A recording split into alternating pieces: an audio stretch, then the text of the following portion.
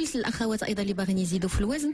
واش السوجه آه ما فيها مضره واش ممكن السيدات تاكلها؟ وكيفاش تاكلها؟ وحتى إلا كانت كترضع واخا باش نتفاهموا بين السوجه السوجه إلا كانت آه، دوك لي بوسيت السوجه يعني ديك السوجه اللي منبتة. هذيك كتكون صحية ما كتزيدش في الوزن. باش باش نفرقوا. السوجه ملي كتكون خضراء راه ما كتزيدش في الوزن. ولكن ملي كنقليوها عاد داك المواد الدسمة وداك ديك الزبدة اللي كتكون فيها طبيعيه هي اللي كتحول وكتعطينا زياده الوزن. واخا طريقة الأكل ديالها معلقة كبيرة في الصباح ومعلقة كبيرة في الليل. مقلية اللي بغى يزيد الوزن. اذا معلقة صغيرة معلقة كبيرة عفوا في الصباح ومعلقة كبيرة في الليل.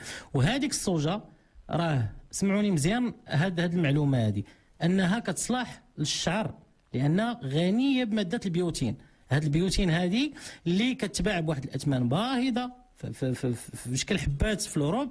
هاد البيوتين كاينة في الصوجة. اذا الصوجة كتعاونكم كذلك حتى على النمو ديال الشعر والصحة ديال الشعر ديالكم. وكنعاودوا نشرحوا المعلومة ما كنتكلموش على صلصة الصوجة اللي نعم. عندنا في الثلاجة كنستعملوها في الطياب.